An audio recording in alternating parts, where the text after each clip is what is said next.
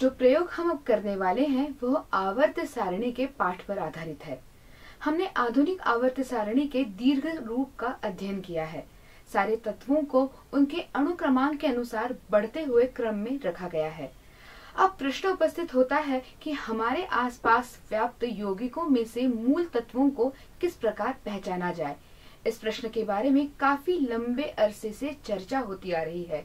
इसके लिए एक विशिष्ट पद्धति का इस्तेमाल किया जाता है, जिसे गुणात्मक विश्लेषण कहते हैं।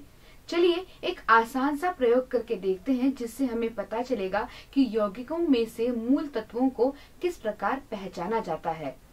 आधुनिक आवर्त सारिणी के सत्रहवें समूह में फ्लोरीन, क्लोरीन, आयोडीन अस्टाटीन ये तत्व आते हैं। ये सारे अधातु हैं, जो धातुओं के साथ मिलकर आयनिक यौगिक बनाते हैं। जैसे सोडियम धातु है और क्लोरीन अधातु है। सोडियम और क्लोरीन आपस में एक आयनिक बंध बनाते हैं और सोडियम क्लोराइड की निर्मित होती है। इस प्रयोग में हम क्लोराइड, ब्रोमाइड और आयोडाइड के क्षारों में से उनके आयनों की पहचान करेंगे। इस प्रयोग के लिए हमें परख नलिका, स्टैंड और ड्रॉपर की आवश्यकता होगी। इसके साथ सिल्वर नाइट्रेट यौगिक अर्थात AgNO3 की भी हमें आवश्यकता होगी। इसके साथ हमारे पास तीन प्रकार के क्रिस्टलीय पाउडर भी हैं। ये powder potassium chloride potassium bromide और पोटेशियम आयोडाइड की हैं। आमतौर से इस प्रयोग के लिए हम इन्हें पाउडर के रूप में इस्तेमाल नहीं करते, हम इनके पानी के घोल का उपयोग करते हैं। चलिए इसकी प्रक्रिया देख लेते हैं।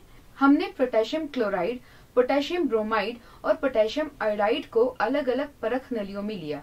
जिन्हें हमने ए बी और सी नाम दिया। अब हमें ये जानना है कि किस परख नली में वास्तव में क्या है।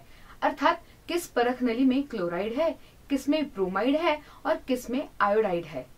अब अब हम इन परख नलियों को, अर्थात ए बी और सी को स्टैंड पर रखकर उनमें सिल्वर नाइट्रेट की कुछ बूंदे मिलाते हैं।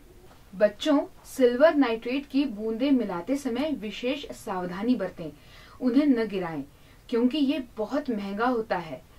रासायनिक प्रक्रिया के लिए उसकी कुछ बूंद ही पर्याप्त हैं। चूँकि सिल्वर नाइट्रेट एक अभिकर्मक है, इसलिए उसे मिलाते ही ए बी और सी इन परख नलियों में रासायनिक प्रक्रिया शुरू हो जाती है। अपने निरीक्षणों को एक टेबल बनाकर उसमें लिखे। जैसे ही हम सिल्वर नाइट्रेट की कुछ बूंदे मिलाते हैं, रासायनिक प्रक्रिया शुरू हो जाती है और कुछ उत्पाद तैयार होते हैं। ये उत्पाद द्रव रूप में न होते हुए ठोस रूप में होते हैं। विलयन के ठोस उत्पाद के रूप में जो निर्माण होता है, उसे अवक्षेप कहते हैं और उस प्रक्रिया को प्रेसिपिटेशन कहा जाता है।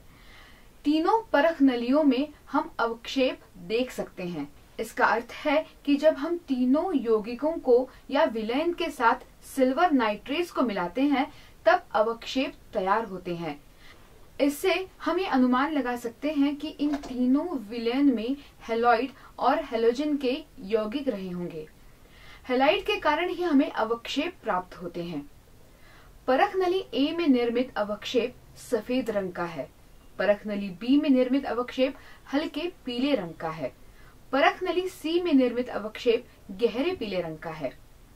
विशिष्ट विलयन में कौन सा आयन है, यह हम इन तीन रंगों के कारण बता सकते हैं। सफ़ेद रंग क्लोराइड दर्शाता है, हल्का पीला रंग ब्रोमाइड दर्शाता है और गहरा पीला रंग आयोडाइड दर्शाता है। निरीक्षण। परख नली रासायनिक अभिक्रिया। अवक्षेप का रंग आयन ए KCl अधिक AgNO3 इससे निर्मित होता है KNO3 अधिक AgCl अवक्षेप का रंग सफ़ेद और आयन क्लोराइड, अर्थात Cl. B KBr अधिक AgNO3 इससे निर्मित होता है KNO3 अधिक AgBr हल्का पीला ब्रोमाइड। C Kl अधिक AgNO3 इससे निर्मित होता है KNO3 अधिक AgL गहरा पीला आयोडाइड इस प्रयोग के निष्कर्ष निम्नलिखित होंगे। पहला, हमने आवर्त सारणी के सत्रहवें समूह के तीनों विलयन जिसमें हेलाइड या हेलोजन के यौगिक हैं, पहचान लिए हैं। उनमें प्रेसिपिटेशन होती है और अलग अलग रंगों के अवक्षेपों की भी निर्मित होती है। रंगों के कारण हम क्लोराइड ब्रोमाइड या आयोडाइड को जान पाते हैं। ये प्रक्रिया गुणात्मक विश्लेषण का प्राथमिक उदाहरण है। अगर हम वास्तव में जानना चाहते हैं कि कौन सा क्लोराइड, ब्रोमाइड या आयोडाइड है तो हमें कुछ और परीक्षण करने होंगे। उन्हें पुष्टिकरी परीक्षण कहते हैं।